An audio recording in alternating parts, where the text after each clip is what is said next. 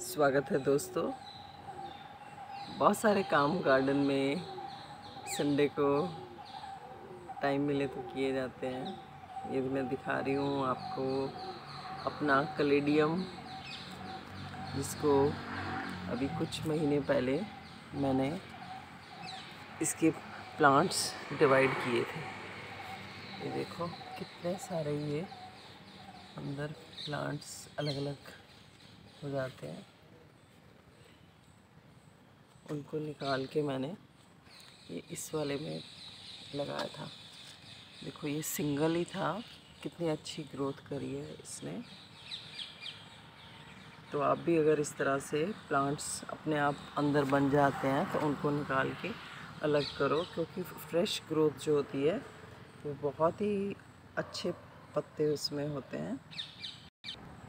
Next मैं दिखा रही हूँ स्पाइडर प्लांट जिसमें ये बहुत सारे बेबी प्लांट्स निकले हुए हैं प्लांटलेट्स इनको अलग कर कर के मैंने खूब सारे प्लांट्स बनाए हैं।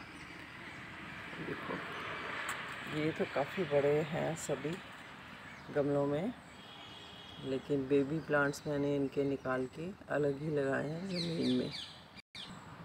ज़मीन में भी देखो, ये सब कितने बड़े और खूबसूरत हो गए हैं। ऑफ़ कोर्स ज़मीन में लगे हुए प्लांट्स गमले की बजाय ज़्यादा अच्छी ग्रोथ करते हैं। ये है नींबू का पेड़। इसमें एक इसमें एक ये आखिरी नींबू लगा हुआ है। बाकी तो सब तोड़ लिए हैं। देखो, ये, इसको भी आज मैंने निकाल ही लिया है। ये हैं तुलसी के पेड़।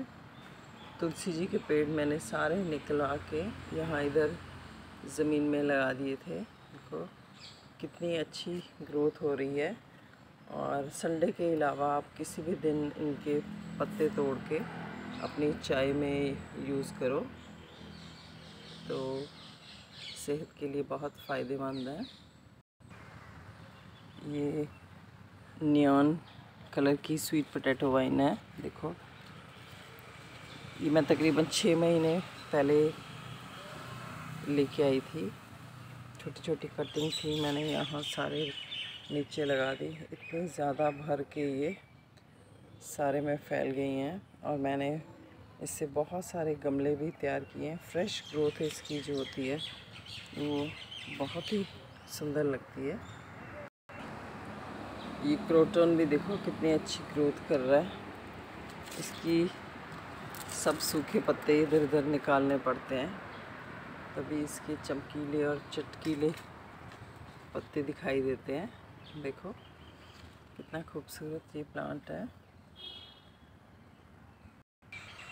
और ये स्वीट पोटैटो वाइन इस गमले में लगाई थी। देखो किस तरह से ये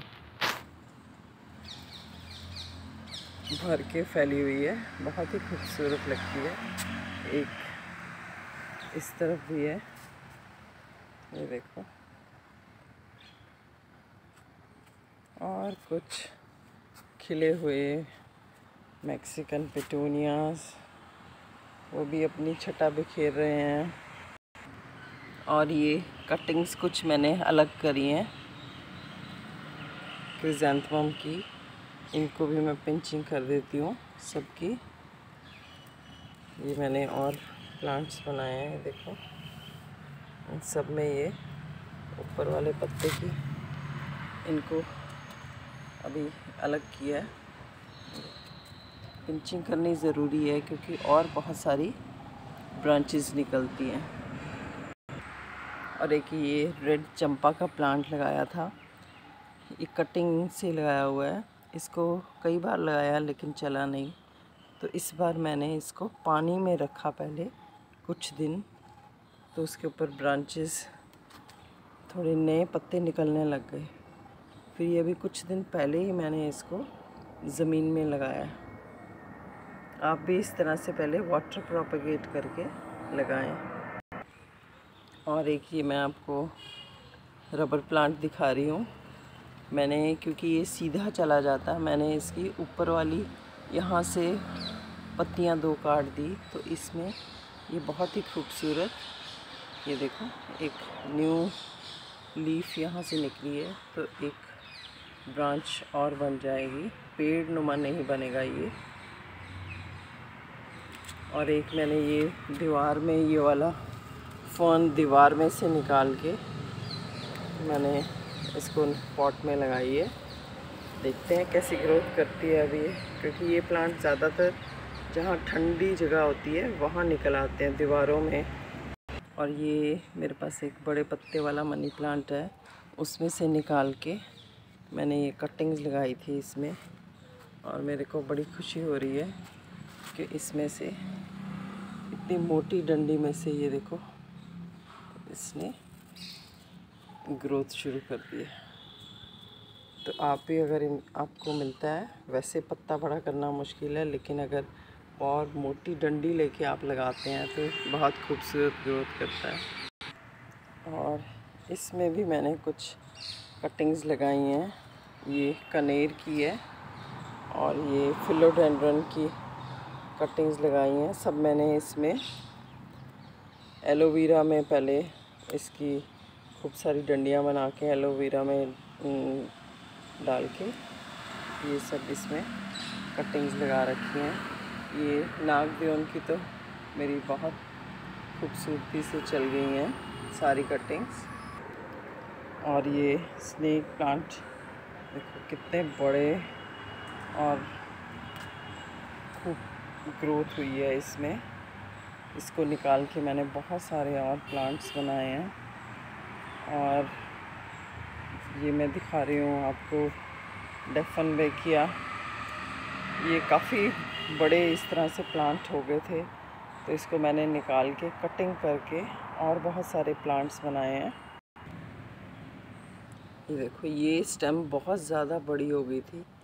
तो मैंने इसके बीच में से तीन चार टुकड़े करके उनको ज़मीन में लगा दिया और ये ऊपर वाला प्लांट मैंने एज इट इज़ इसमें दोबारा से लगा दिया। वो भी चल गया हुआ है। और ये रहे हमारे इकलौते सूरजमुखी, जो अभी भी खिल रहे हैं। काफ़ी बड़ा प्लांट हो गया था, ये तो खिल चुका है। देखो। और ये खूब सारे कोलियस, और ये पीछे मेरा रेड सिंगोनियम। इसकी भी मैंने बहुत सारी कटिंग करके लगाई है। ये भी कटिंग से चलने वाला है। अब देखो, इसकी बैक साइड पर भी बहुत सारी नोड्स हैं। और ये देखो, इतना बड़ा ये पिंक सिंगोनियम हो गया। ये थी मेरी आज की शेयरिंग जो कुछ काम आज संडे को किए, अगर ये आपको अच्छा लगा हो तो प्लीज़ लाइक एंड सब्सक्राइब ये लेपर्ड लिली का फ्लावर थैंक यू